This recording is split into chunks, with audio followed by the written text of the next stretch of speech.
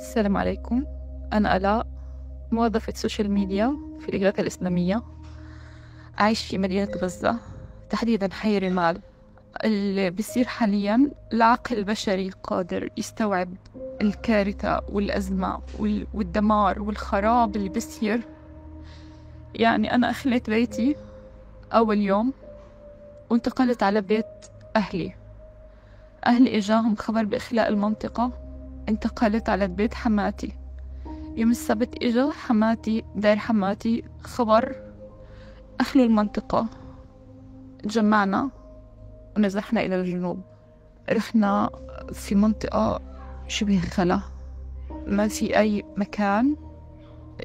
يعني الوضع الوضع مأساوي لحد ما فيش أي مستلزمات إنسانية إحنا نقدر نعتمد عليها. انطلقنا من غرب غزة للجنوب وصلت وصلنا تقريبا منطقة الزوايدة.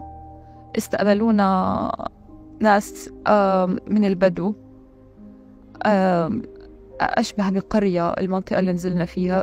طبعا إحنا ما إلنا أي حدا في الجنوب نقدر نروح عليه. الطريق مليانة مليانة ناس. محملين أغراضهم وكله بينزح سيارات مشي على الرجلين الناس قعدت تصوت تزعق عليه وأنا بالسيارة بسوق يقولوا لي لو سمحتي خدينا معكم ملناش مكان بس ما, ما, ما في ما في وسع ما بالسيارة أقدر أخدهم. وصلنا هناك آه على أساس إنه أأمن. بس هو أبدا مش أأمن.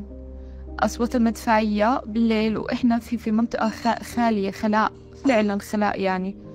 قعدنا وكانوا معي أولادي. أولادي في حالة مأساوية نفسية يعني الحالة تبعتهم مزرية. طبعا ما في مية ما في كهرباء ما في إنترنت ما في, ما في حتى نعرف أخبار إيش بيصير حوالينا. أنا مقطوع عن الاتصال مقطوع مني الاتصال مع أهلي.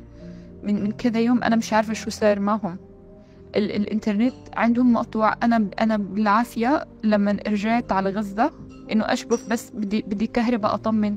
أطمن أشوف إيش الوضع إيش الأخبار. مجددا قالوا لنا معكم من هان لحد الساعة أربعة اليوم الأحد تخلوا بقي معي ساعة ونص وأنا فعليا مش عارفة وين أروح من الأولاد. الوضع مربط قاعدة في أولادي بفكر وين وين بدنا نروح. إذا إحنا رجعنا من من الجنوب لأنه القصف شديد جدا. القصف يعني أنا بحياتي ما سمعت هيك أصوات. أصوات المدفعية بالليل مش طبيعي غير أصوات الطيران غير الفوانيس المضيئة اللي بيرموها علينا عشان يكشفوا المنطقة اللي بدهم يقصفوها. يعني كانت ليلة مش صعبة كانت ليلة لا توصف. فعليا مشهد نزوح المواطنين من غزة ومن الشمال إلى الجنوب كان أشبه يعني بلا تشبيه كيوم الحشر. كله بينحشر بيروح في منطقة واحدة وما في أمان. ما في أمان لأنهم بيرجعوا بضربوا في نفس الأماكن اللي الناس بتروح عليها. يعني وإحنا في الطريق امبارح ضربوا شحن بصواريخ سبعين شهيد في لحظة واحدة وهذا الشحن كان محمل بناس مهاجرين نازحين من الشمال وكله رايح على غزة المشهد. يعني أنا أنا لو متأخرة متأخرة بس شوية كنت أنا كنت من ضمنهم. فقد ما تقدر إنه تقول بيقولوا لنا أمان وصلوا من هان روحوا هان لا لا هذا هذا كله كلام واهي ما, ما فيش له أي أساس من الصحة لأنه أساسا هم قاعدين يضربوا في الأماكن اللي بيحشرونا فيها. وما في أماكن مكان يعني إحنا نروح عليه. والوضع الوضع الوضع الصحي سيء. يعني نداءات لإخلاء المستشفى كمال عدوان. أه، طب مستشفى وين يروحوا الجرحى المصابين؟ طب النداءات لإخلاء الشمال ويروحوا على الجنوب. طب وأهل الجنوب اللي قاعدين بينقصفوا؟ طيب. يعني غير الوضع الصحي الوضع الاقتصادي ما في مية. طب إحنا شو نعمل؟ ما في مية.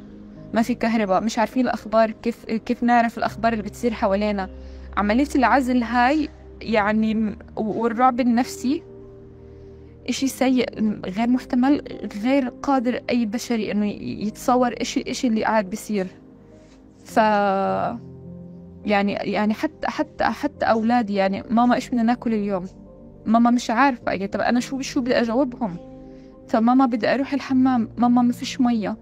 طيب طب اضطرينا اضطرينا لأنه الوضع سيء في المكان اللي إحنا رحنا ونزحنا عليه إنه نرجع بيتنا ومعنا مهلة إنه نخلي بس مش عارفين وين نروح. قررنا قلنا نموت في بيتنا ونعرف إحنا مين.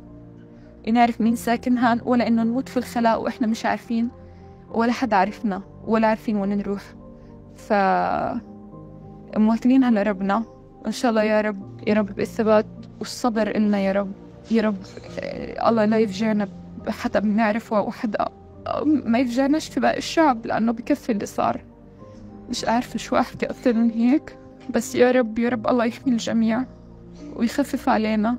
أيام ثقال بس إن شاء الله يا رب يا رب. شدة وتزول.